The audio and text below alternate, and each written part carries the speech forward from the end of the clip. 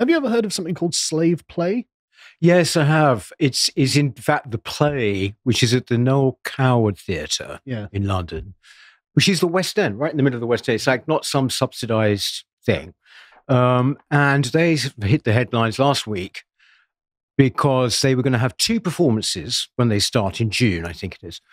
Uh, and these performances were going to be effectively black only. Yes. Um, so this would be uh, via invitation. They're being very careful the way that they set this thing up because, of course, they would fall foul of the law. So they're sort of actually going to what they call black groups and activists or whatever, inviting them. And also, the the reasons put forward for this is that they say that we need uh, an audience to feel that they are not being um, looked at with what they call the white gaze. yes. That's G A Z E, right? Not the other one. Um, but basically, it is essentially this kind of concept, which is you've had in the arts for a long time. There's something called the the masculine gaze, you know. almost. But anyway, that's the way they've got round it carved. So they couldn't say white people. So basically, they said the white gaze, and this is just extraordinary that they can even come up with this. But at the same time, It's not extraordinary, entirely predictable. Yeah. Hi, folks. Sorry to interrupt the video, but I just want to direct your attention to the aesthetics range of merch that we have on the store. These are beautiful images that I think work really well as posters or mugs. So if you want to support us, going over to the merch store at shop.lotuseaters.com is easily the best way other than signing up on the website. So I thought, um, I, I've never heard of this. So I looked it up on Wikipedia and Wikipedia tells us it's a three act play by Jeremy O. Harris about race, sex, power relations, trauma, and interla- interracial relationships. And already from hearing that, I'm like, oh, God. Yeah, yeah. Not, you know, of course it is. not exactly a laugh right. Yeah, exactly. Yeah, prepare for a good time, folks. Yes. Um, but uh, but anyway, so it follows three interracial couples undergoing antebellum sexual performance therapy because the black partners no longer feel sexual attraction to their white partners. The title refers to both the history of slavery in the United States and to sexual slavery roleplay. Right. So this is American fetishism. Mm. That is being- It's not the first time, actually. God, there was a, a, a the Theatre Royal Stratford uh, East, which was, I think, last year or maybe the year before. Mhm. But there was an attempt as well to have what they call them blackouts. So nights which are that's their name for it, blackout, uh, where they encourage a black only audience.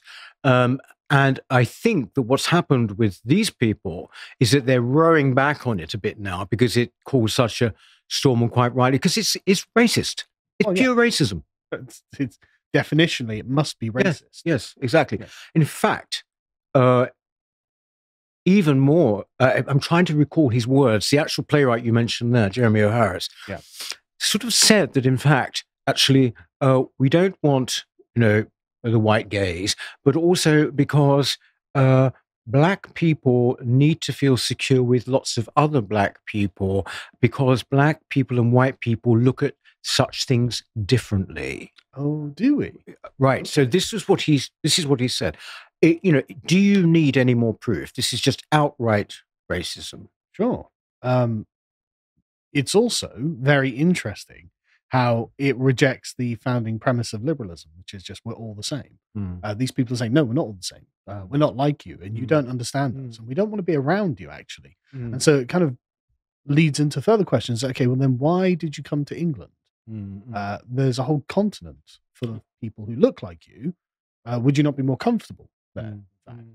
Uh, does this have applications for other races of people? Yeah. actually. You know, Yeah. should the Chinese be allowed a Chinese one? Should Jewish people be allowed a Jewish only one? Should English people be allowed an English only one? Mm. And suddenly you get into quite murky and unexplored depths that the average Westminster liberal will say, oh God, this was just a bad idea. Yes. Well, talking about liberals and, and, and white liberals, of course, the theatre is sort of their playground. They uh, they won't probably see anything wrong with this. Oh, Wow, that's true. they probably won't see anything wrong with it. I don't see. I think it was discussed on the BBC, certain a few news programs, but on the whole, not very much. And it it certainly wasn't on the BBC TV. Yeah, it didn't hit their radar, did it? Uh, Yes, it, not not really, because you see, in a way, they would prob- probably understand because it's all stems from the idea that only white people can be racist. That's where it comes from. There- There's there's an inherent superiority in it. Right? Mm, mm. That's the issue. They're like, oh yes, no, you are right. The blacks they do feel uncomfortable around the whites. They do need their Mm, mm. and mm. it's because I'm somehow um, emotionally more developed than you that Mm. I don't need this. And actually, it'd be bad for us to have it. Mm. But you definitely need that. There's a condescending, patriarchal sort of paternalism in that. Absolutely, there is. Also, can you imagine, just on a on a day to day level, Mm. This guy, the playwright, saying this, what he's just what I just quoted there. Mm. If you were a, a white playwright and you said, and you just simply took took the words and just turned them around to talking about black That would be a people, crime. well, the fact is, you'd never work again. Yeah, but you'd also get arrested. Oh yes, arrest, never work again. There would be endless, endless discussions about what this says about our society. All of these things in, in all of the newspapers. There'd be silence from the Tories or from anyone who considers themselves Oh, I don't, I don't. I think it'd be worse than silence. They'd come out and disavow, oh yeah, and they would say, "No, of course that's wrong. Of course, whatever the Labour Party says, we agree with Mm. one hundred percent." That's what they'd do. It'd be better if they were silent. You see, the thing is, I mean, I don't know. Do you go to the theatre much? Uh, not often. I've, I've Uh, been occasionally. Uh, um, I used to go an awful lot because I used to review them for various newspapers and everything a long time ago. But um, don't go very much now. But uh, this is all of a piece, really, generally in the system. I mean, the most kind of provocative, the most edgy thing you could possibly do now would be put on a, a play which even just had a character that was in some ways uh, explaining the appeal of Trump. Yes. I mean, something as mild as that. But the idea that you will see a play or write, read a novel or go and see a piece of visual art, which in any way is critical of multiculturalism or migration or any of these things, is inconceivable now. I mean, the inconceivable. And that's the only place you would find anything that pushed boundaries now. Mm. Because I mean, the thing about this is that actually this is all kind of a settled science when it comes to progressivism. This is all completely within the remit. No, no, no. It is the case Mm. that the majority has been dominating the minority, and therefore the minority need their own private spaces away from the majority. And so this all fits completely within the intellectual framework of the modern left. Mm. Um, and so this is in this is the safest thing that they could do. Mm. It's not in any way, and that's why the media hasn't picked up on it. That's why it's been the alternative media who's been like, "Hang on, is this?" Is Yes, this exactly. I Um, think, you know, a lot of people would say, well, what does it matter? You know, it's the theatre. Haven't we got far more important things to talk about? And actually, I would say in an odd way, no, because they are the kind of, they are the sharp end of the culture, you know. But it's also just all the same thing. When Yes. when you criticize this, you are also criticizing David Cameron's affirmative action policies. You're also criticizing the Labour Party's uh, race hatred laws. You were also criticizing all of these things. Mm. You were saying, well, look, it's either one rule or it's a double standard. And we seem to be perpetually trapped in the double standard. And why should that be accepted? You know, I'm okay with them having this as long as, for example, some playwright could come out and say, right, we're gonna we're gonna write uh, a play about Alfred the Great and his fight against the Danes, and we don't Mm. want any Danish people there Mm. actually, Mm. uh, because this was a part of the ethnic English struggle against oppression, Mm. which it is. Mm. It's totally true. Uh, and so that would be considered racist. That would be forbidden. Actually, you stumbled on there something actually, Carl. I don't know, very, very uh, topical. Yeah. Um, King Alfred's fight against the Danes, right? There was a play done in the 18th century, and they needed a song for this particular part of the play. It was like one of these kind of pageants. Yeah. And they composed Rule Britannia. Oh, is that where it's from? That's where it's from. I didn't know. And yet, and as we speak today, uh, there are now qualms about this being played yet again um, at the last night. Of the proms this year. every year. Yes, every year. But that's where it's from. And in fact, so it's actually nothing to do with like enslaving the world or anything like that. It was it was purely to as a kind of a bit of a battle hymn. It's resistance to Yeah. oppression. Yeah. It's resistance to slavery. I mean, you can tell by the lyrics themselves, Britons will never be slaves. That implies that the threat of looming enslavement is on the horizon. Mm. And actually, we need to find the moral power to resist it. Also, it's uh, sorry, it says Yeah. I'm warming to my subject here. It's, Yeah, it's also Brit- Britannia rule the waves, i.e., it's a command. Yeah. It's not rules the waves as in we do. Yes. Yeah. It's an imperative. Yes. Yes. Um, so anyway, just to get back to this, um, this is the the chap. Uh, the the play is starring Kit Harington, Mm. who is best known for his role as Jon Snow on Game of Thrones. Uh, so that's interesting. I assume he's going to be a slave master or something like that in it. He's a little bloke, isn't he? I've I've no idea. He's tiny. Is he that small? So, yeah. No, I didn't know. Um, but uh, but yeah, Jeremy Harris said that he was so excited uh, for this um, because, oh, as you say, he says it's a necessity to radically invite them in with initiatives that say you're invited, specifically you. Uh, that's very interesting because legally you're not allowed to simply say the color of your skin Of course not. no. limit you entry. Um, but this has actually uh, happened before as well. As uh, and again, it was very hard to find any information about any of this because nobody really wanted to talk about it. This is a very progressive write up of it. Um, but as they say, uh, last year um, in May, there was a similar fuss made out about a play called Tambo and Bones, Mm. uh, the Theatre Royal Stratford East, because they had a quote blackout performance. Uh, and so this is something that's happened before, and they Mm. knew it was going to happen, and they don't care. That's the Mm, point. mm, mm. They've decided no, this is for our ethnic group, and your opinion on that is irrelevant. The liberal norms on that are irrelevant. This is something we're going to do for ourselves. Okay, Mm.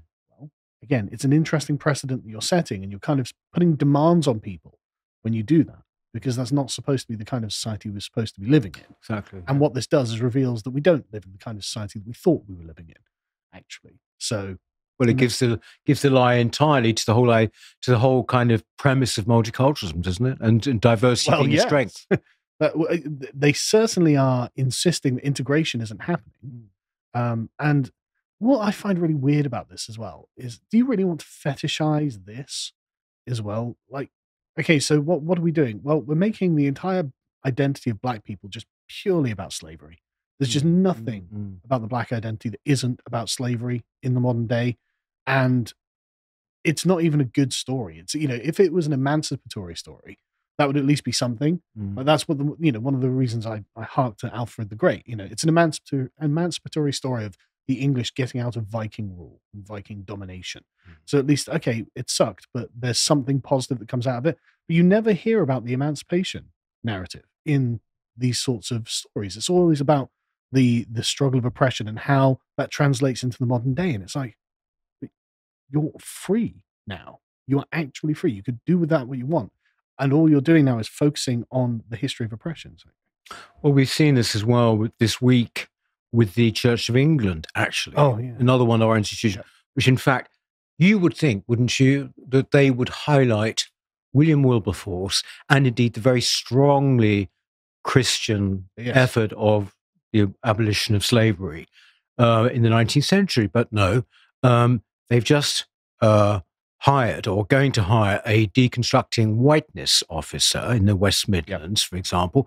And yesterday we heard that also they're going to try to up the fund with the anti, you know, the basically reparations, because that's what they're talking about. yeah, yeah. then- 100, 100 million up to a billion, Mm. right, in order to try to expunge the, the, the moral sin of slavery. Mm, So for them, it's a kind of, this is a, a an issue of what, 200 years ago, whatever, but somehow or other, it is Mm. the guide to all of their policy at the moment.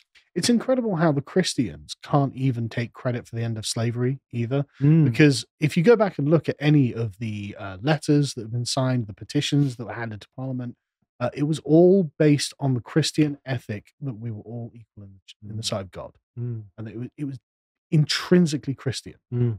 And Yes. they, I mean, Benjamin Franklin uh, wrote a letter about it, and he just begins with, "This is against God's image and against God's will for the Mm. world." Mm. And it's like if the church can't even claim that as a moral victory Yes. to say, "No, we're the reason that slavery doesn't exist anymore." Actually, so um, you're welcome. You know, Mm. if they Mm. can't even claim that, then what hope do they have?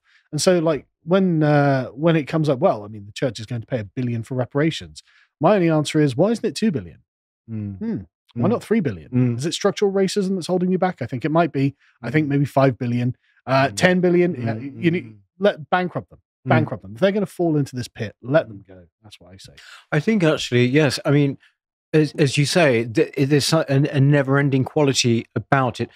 and indeed with this play. I mean, basically, it's got to be nipped in the bud. You can say, actually, no, what you're proposing is illegal. Uh, so essentially, no, sorry, you're not going to be able to do it.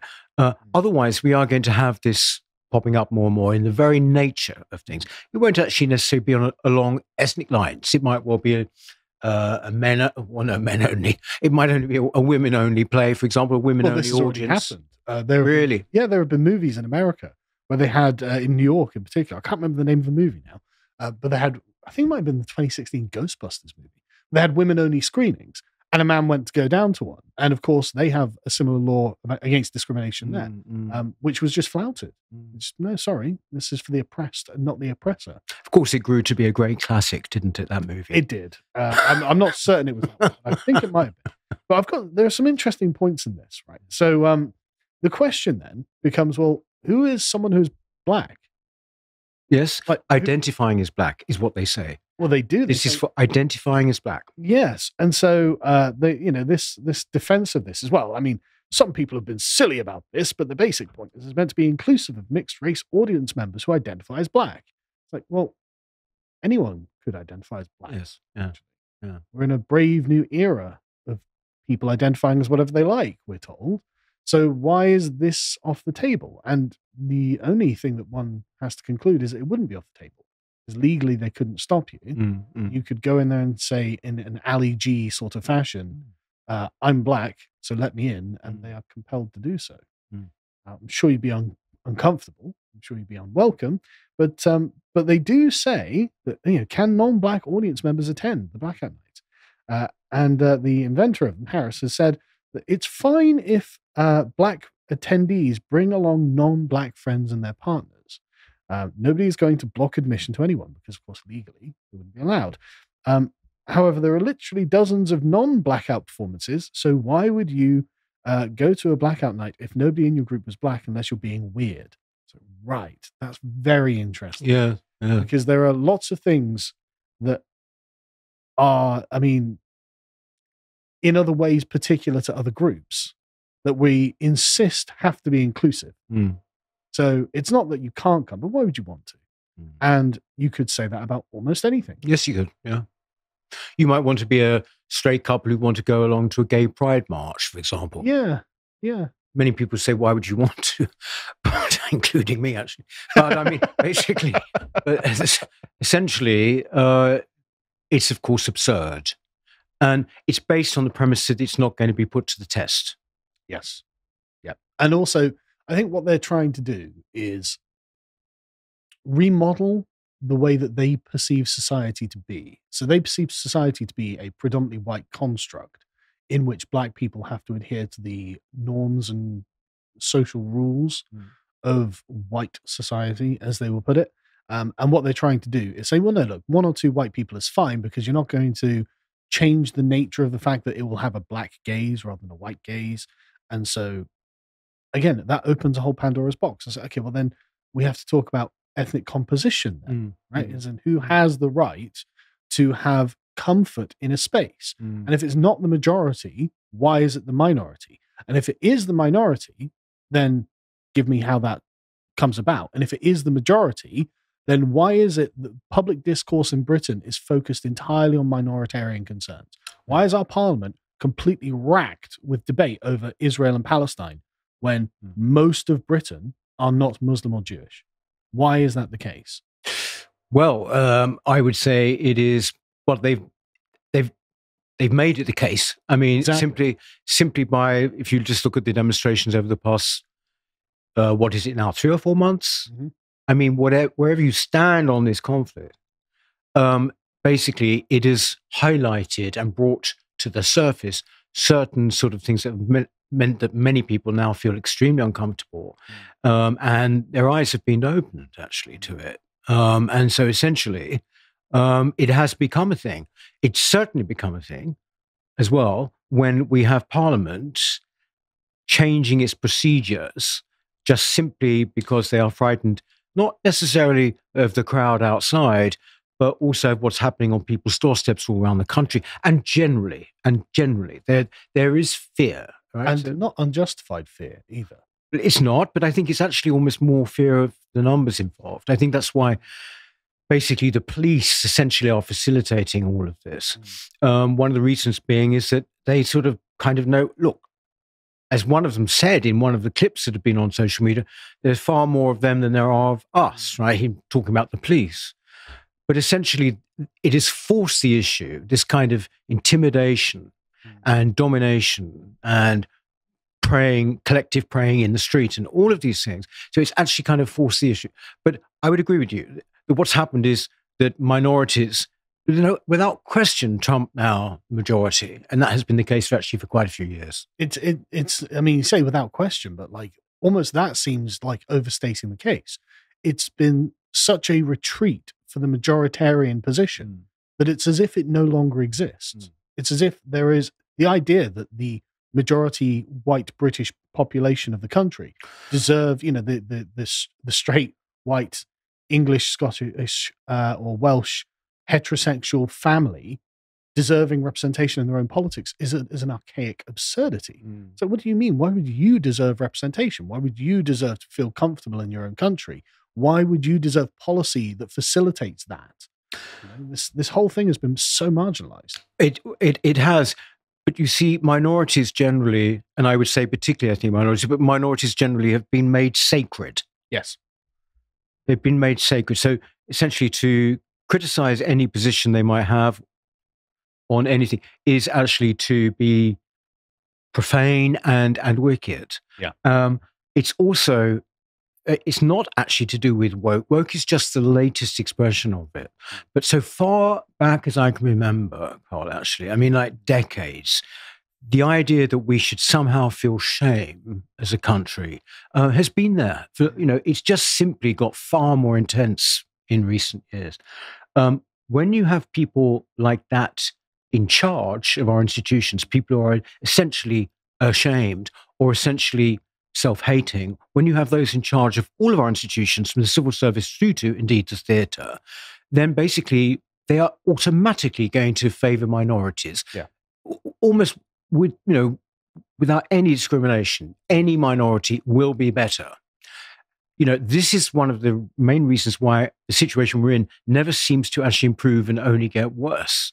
Because, you know, we've basically been quite literally disarmed, you know, Mm-hmm. our sense of ourselves. We've been disarmed. Um, and that has been going on for a long time. Um, you know, you, I'm I'm reminded of Orwell, who must have been writing back in the 20s when he said uh, the average cosmopolitan liberal in running the country would rather be seen stealing from the church poor box than singing the national anthem. That's right. He did indeed say that. Yes. He's, well, in fact, he went one further. He said that the uh, the English intelligentsia Mm.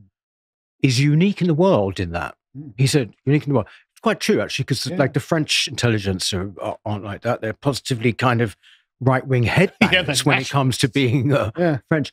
But uh, no, he's quite right. And in, in fact, he was writing that in the late 1940s. Oh. Um, absolutely right. You go back to 1920s, the Bloomsbury Group, all these people, very, very much the same. He said the uh, Englishmen are also unique, English intellectual, in hating all of English taste in things, whether it's cuisine, whether it's building, whether it's anything, any kind of English thing um, will be uh, looked down upon. Difference now is that obviously he was talking about what could genuinely be called an intelligentsia. Uh, what we've got now is a kind of lumpen intelligentsia, right? Oh, And they that's, a, that's basically a generous term in and of itself. huge, huge army, all being sort of basically spewed out by universities from the 60s onwards. Yeah, no, I think you're completely correct. And not to go off on a tangent, but I think it, it is to do with liberalism itself mm. because the the fact that we have to describe these things as English gives them a parochial centered particular aspect rather than being something that is abstract and universal to all mankind. Mm. And so it naturally excludes other people. And those things that are excluded are the minority concerns. And so Mm. they become special to the liberal because hang on a second. Why do they why isn't there equal representation and equal recognition Mm. in this? Mm. And the the issue, of course, is well, it's a culture. Of course, Mm. there's not equal recognition. There's Mm. recognition in different levels, and the appropriate level of recognition for a minority group is much smaller than the Mm. appropriate recognition for the majority group, which is just the democratic principle. Mm. And so we're at a point where democracy means elevating a tiny minority to be the sole point of concern over the entire country. Now, in other times and places, that might be considered an aristocracy, because that is also a description of what an aristocracy is. But we've arrived at the point where these two things have harmonized into the word democracy. And I mean, just to put a fine point on that, Rishi Sunak came out and said, hang on a second, is this actually right, chaps? And it's like, there we go. We've got the unelected um, North Richmond MP uh, explaining that maybe this isn't good. But of course, he's not going to do anything about it. He just says restricting audiences on the basis of race would be wrong and divisive. But then legislate, do something. Mm. Thing is, you see, he talks about these things, Sunak. I was also reminded of this when he made that masterful uh, uh, speech outside number 10. He speaks about these things as though he's never ever thought about them. Yes. He's never he's never considered them a priority. Yes. So basically, you know, the whole feeling of him is that this is new ground to him. He doesn't feel sure. I mean, to sort of say what he's, what is it, Carl? He actually says. Uh, he said restricting audiences on the basis of race would be wrong and divisive. He could say is wrong. And yes, divisive. yes, yes, exactly. Because- and and he'd also he could follow that with and we won't permit it Yes, exactly. because it's wrong. exactly. As if as if this is hypothetical. I mean, this isn't this has been done before, and they're going to do it again. And the conservatives sat there and go, well, if only there was someone who could do something about this. If only we had a moral principle to stand on here. Mm. Uh, I mean, you, they'll, they'll call themselves one nation conservatives and then do nothing. As I said, I mean, like, you know, when you saw him making that speech last week outside number 10, I got, kind of got very angry at it, actually. I wasn't just dismissive, I got angry, you know, because first of all, to talk about, you know, the Islamist and far right threat, I thought, what are you. What are you talking about? You know, what are you talking about? You've been told to say that simply because you don't want to alienate friends in the media and your friends around number 10 or whatever. Also, you don't want to be singling out a particular group, even Yes. if there have been cases that point to an issue that resides within that group. You can't single them out because, again, liberal order will not permit it. Hmm. And so you have to have no, we're against extremism in the whole. Yeah, but my and then it was also echoed, wasn't it, by Cameron? Yep. He did the same, said the same thing. My problem with that is, first of all, apart from the fact that it's simply a lie. I mean, it- you know, in the sense that when I was in the London Assembly f- for five years, I can't think of the amount of times where basically the right wing, the far right threat was being talked about. You know, you never kind of got to know what the kind of groups were or, or any of this. I'm not doubting that probably there are some people, but it's not the point. I, you know what, Peter? Just to interrupt, I think that you're the far right threat that he's talking about. Well, well, and and, And so you're myself not okay. Calvin Robinson and just normal patriotic people, I think. Yes. far right threat. Possibly. I mean, uh, if that is the case, um, then um, you know, yes, I, I can I can see uh, the logic of what he means there. Mm. Um, but uh, when he was talking about the dangers of, he was talking about. Was he? He wasn't even talking about terrorism. Actually, was he was talking No. about the dangers of extremism? Yeah. Yes, of course. Yes. What does that mean, though? Because Yes. I view the Conservatives as, as an extremist party themselves. If you appreciated that episode from the podcast of the Lotus Eaters, you can go to lotuseaters.com to get access to all the premium content that's on the site, such as the Epoch series, this episode on Leonardo. You'd like to find out what else is being put out, you can follow on Twitter at lotuseaters underscore com on Twitter. Thank you and goodbye.